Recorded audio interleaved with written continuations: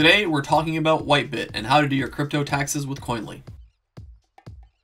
Welcome back to another video. Today's wallet is the Whitebit wallet and I'm going to break this video down pretty straightforward. I'm going to talk a little bit about the wallet itself, then I'm going to jump into the integration and how easy it is with Koinly, and then I'll show you how to get the necessary tax documentation. I'll have you out of here in a few minutes. And then lastly, I'll leave you with some resources. If you have any questions, comments, concerns, we'd be happy to get back to you. But without further ado, let's jump into today's video. Whitebit was founded in 2017 and it's based out of Estonia. Currently, they are in the top 50 exchanges by trading volume, hovering at around the 35 mark.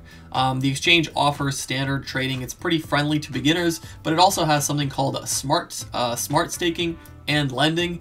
They claim to offer 28% in passive income on their smart staking, as well as 30% APR when lending cryptos like Bitcoin, Ethereum, uh, and USDT. So let me know in the comments if you've used any of their services and what kind of returns you've been able to get. Okay, so let's jump into the integration part of this video. As always, log into Koinly, head over to the wallet section, click add wallet.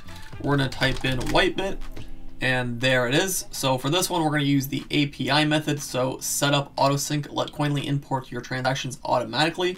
We're going to click that. And now we're looking for the API key and the API secret. So let's go to Whitebit. We're here at the dashboard. In the top right corner, we're going to go to API. Here, we're going to click generate a new key. And here is our key. So let's copy that. And here is our secret. Let's copy that and paste it as well. And here what you want to make sure to select is enable access restrictions.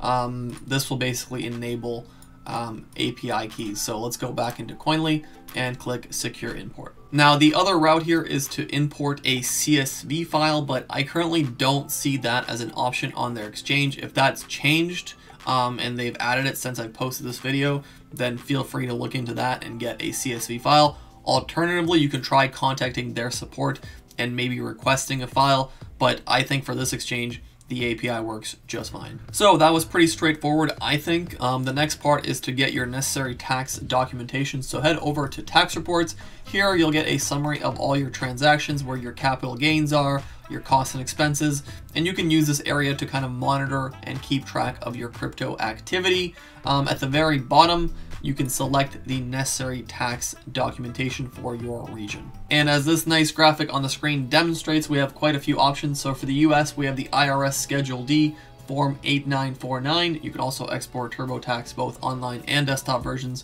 We have reports for UK, Sweden, Norway, France, Switzerland, Australia, and then lastly, Canada, Germany, and other countries, we have the complete tax report. And this complete tax report document is one that you can give to your accountant and they can combine it with other tax documentation to send out or alternatively, you can invite them to the Koinly platform to set up their accountancy firm. And lastly, as I always say, make sure to check your country's uh, regulations because this report might be deductible. But that just about sums up this video. If you have any questions, I'm going to leave some links down below. First one is the Koinly Help Center, where we have countless resources if you'd like to learn more about crypto taxes.